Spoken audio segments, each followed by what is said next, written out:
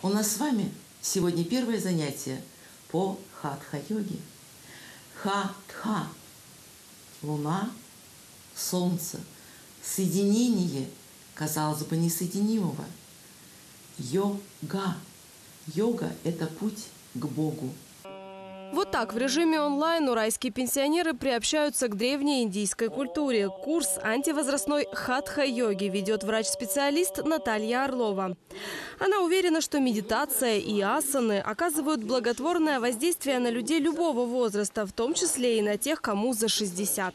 А йога – это уникальный дар Бога, который позволяет сохранить здоровье, но самое главное – йога позволяет повернуть время.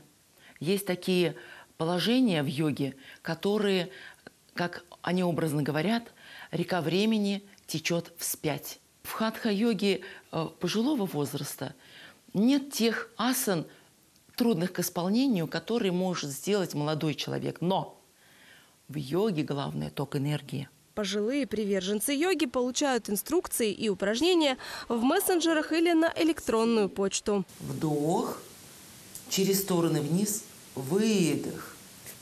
Наклоны к правой ноге. Левую ногу подворачиваем под себя, руки вверх, поворачиваемся, наклоняемся. Недавно с анти-эйдж-йогой познакомилась и Галина Беляева. Теперь ее утро начинается необычно, с пения мантр.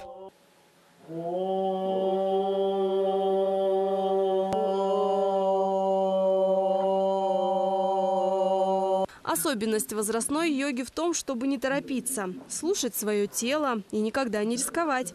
Здесь не используют стойки на голове и вообще позы, где голова находится внизу. Чаще практикуются асаны стоя, сидя или лежа.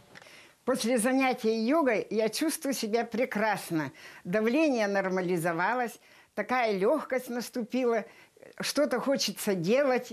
Ну, в общем, все хорошо. И я всем желаю, предлагаю, чтобы занимались по утрам физкультурой и этой же йогой. Пока в Югре действует режим самоизоляции, домашние занятия йогой – это отличный способ поддержать свое здоровье и разнообразить досуг, считает Галина Беляева.